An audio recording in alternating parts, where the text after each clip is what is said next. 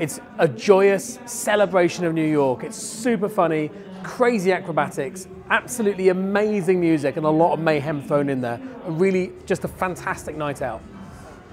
Fans can expect high flying acrobatics, of course, because this is Cirque du Soleil. They can expect incredible, breathtaking music from some of the, the most incredible artists of all time. They can expect to laugh.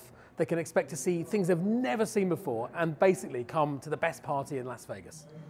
The craziest thing about Mad Apple is it's set at the coolest bar in New York. And if you come early, the bar opens early and we have a host of amazing entertainment that happens from 45 minutes before the show. So come early, grab a drink and get entertained by all the crazy surprises that we have. Really worth turning up early to.